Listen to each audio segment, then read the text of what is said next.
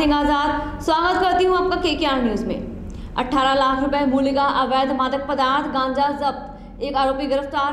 Police अधीक्षक Sehore Shri S S Chauhan के निर्देश अनुसार ज़िले में अवैध मादक पदार्थ की तस्करी, संग्रहण, परिवहन की रोकथाम हेतु चलाए जा रहे अभियान के दौरान अतिरिक्त पुलिस अधीक्षक सीहोर समीर यादव एवं प्रकाश मिश्रा के मार्गदर्शन में निरीक्षक उषा मरावी के नेतृत्व में गठित टीम ने मुखबिर की सूचना पर कार्रवाई करते हुए एक आरोपी को गिरफ़्तार कर उसके कब्जे से दो क्विंटल से अधिक मादक पदार्थ, गांजा, कीमत 18 लाख रुपए का जब्त करने में सफलता प्राप्त की है।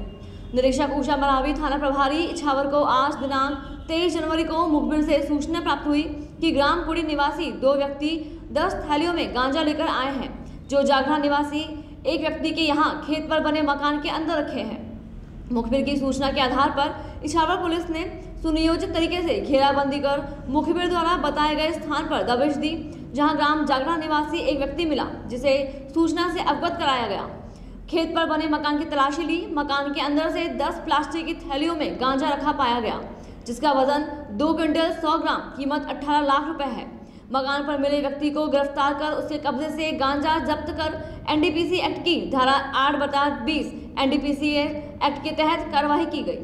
गिरफ़्तार आरोपी से पूछताछ करने पर उनसे ग्राम कुड़ी निवासी तीन अन्य आरोपियों के द्वारा मादक पदार्थ गांजा लाकर रखना बताया, जिनकी गिरफ्तारी के प्रयास जारी हैं। उक्त कार्यवाही में निरीक्षक उषा मरावी, अजय ओझा, आरक्षक धर्मेंद्र, आरक्षक सुरेश परमार, आरक्षक प्रदीप, आरक्षक चरण सिंह सैनिक विक्रम सैनिक जगदीश की सराहनीय भूमिका रही।